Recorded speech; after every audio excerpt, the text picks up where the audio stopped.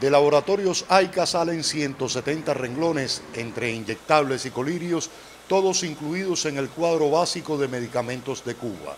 Los destinados al consumo nacional son en lo fundamental para uso hospitalario en salones de operaciones y cuerpos de guardia. A la exportación dedican el 40% de sus producciones. Ambos registros concluyen el año en verde, al pronosticar sobre cumplimientos de casi 30 millones de pesos para el consumo nacional y de más de 20 millones para la exportación.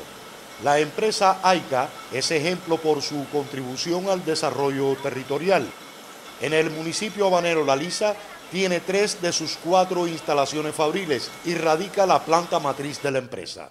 La mayor parte de nuestros trabajadores viven y conviven con nosotros y trabajan aquí, pero viven en la LIS. Y por lo tanto, el hecho de que eh, tengan una fuente de trabajo, en primer lugar, bien remunerada para los estándares cubanos y que además eh, se ocupa de la calificación permanente y la formación de ese personal, es una de las principales formas en las que contribuimos con el municipio.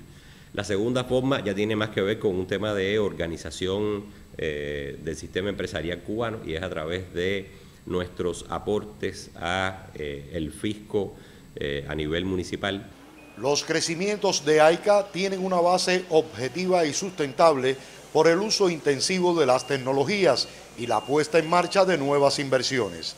Considerada una gran empresa, Laboratorios AICA aumenta la incidencia en el desarrollo local mediante el aporte del 1% de sus utilidades. Hoy nosotros estamos reparando todos los comercios, estamos reparando eh, haciendo las plazas de la lisa. Estamos tratando de buscar elevar, además de los servicios, que es lo principal, también elevar los ingresos económicos, que es lo que nos va a dar posibilidad de seguir trabajando con el 1%. Laboratorios AICA, empresa estatal socialista que acrecienta su contribución al desarrollo territorial. Manolo Rodríguez Salas, Sistema Informativo de la Televisión Cubana.